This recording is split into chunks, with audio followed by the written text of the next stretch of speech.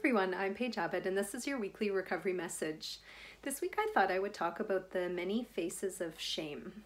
Brene Brown talks about the different facets of shame that we can have financial shame, not feeling good enough there, relationships, parenting, um, success wise, professionally. There's so many different pockets that shame may lie in, and each person is ultimately responsible for exploring and learning more about where there's that disconnect from self. So, what parts of yourself do you not value and respect?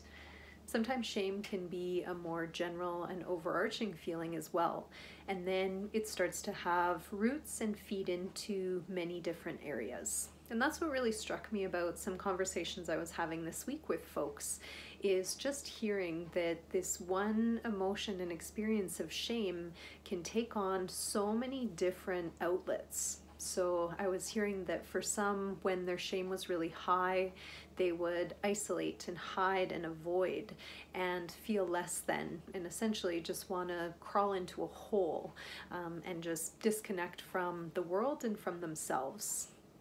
Other people were saying they found it difficult to eat, to nourish themselves, to rest, to take care of themselves.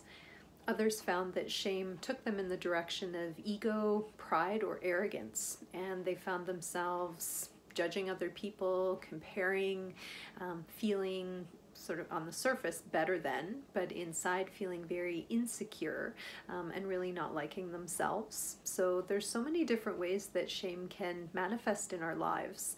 And the reason that shame is so important is it really does have a strong impact on mental health and for those of you who recognize having addiction, it has a profound impact on the disease. When shame is high, relationship with self is low, and to find some relief or escape from that pain, then the brain will start to look for solutions that also feed into that shame cycle, meaning there's substances or behaviors that feed that cycle by seeming to perpetuate that idea of being less than or being not worthy.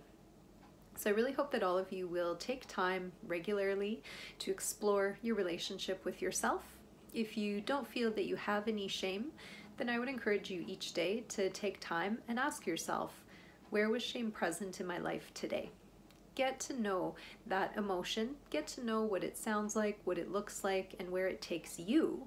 Because as I was sharing about some of those conversations I had this week, the hopeful side of that is that as people start to see where shame takes them, then there's the opportunity to take different action you can look after yourself differently, you can talk to yourself differently, you can behave differently with other people, and you can start to recognize how other mental health or addiction issues you may have try to use the shame to pull you back into that despairing, self pitying, uncomfortable place. So I really hope that you'll continue to get to know shame and continue to work on that relationship with self there's no greater relationship worth exploring and worth nurturing. I wish you all the best in your ongoing journey of health, recovery, and self love. Bye for now.